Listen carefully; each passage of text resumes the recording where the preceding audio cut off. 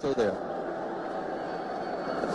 Subtract Lewis from that. ICC के online media zone पर लिखे गए मजमून में सबक कप्तान वसीम अकरम ने अपनी क्रिकेट यादों को ताज़ा किया। कहते हैं, किसी भी प्रोफेशनल क्रिकेटर के लिए वर्ल्ड कप जैसे मेगा इवेंट में नुमाइंदगी और खास तौर पर इसमें फतह बड़ा ख्वाब होता है। वर्ल्ड कप 2015 के काउंटडाउन शुरू किए जाने के मौका पर लेजेंड वसीम अकरम ने मास्टर ब्लास्टर सचिन तेंदुलकर को खराज तहसीन पेश किया। कहते हैं की उनके 24 साल क्रिकेट करियर को 2011 वर्ल्ड कप की जीत ने चार चाँद लगाए थे। वसीम अकरम ने वर्ल्ड कप उन्नीस निन्यानवे में बतौर कप्तान शिरकत और फिर उन्नीस सौ बानवे के सुपर मेगा इवेंट में चैंपियन बनने के सफ़र का भी ज़िक्र किया। अपनी इस मुनफरद तहरीर में सबक कप्तान ने लिखा कि ब्रायन लारा, राहुल रबर्ट सौरव गंगोली और जैक कैलिस के लेजेंड होने में शक नहीं, लेकिन उन समेत कौमी टीम के मौजूदा हेड कोच वकार यूनस किसी भी वर्ल्ड कप फाते टीम का हिस्सा नहीं बन सके। बड़े बड़े एजाजात के बावजूद इन खिलाड़ियों को ये कमी ज़रूर महसूस होती होगी।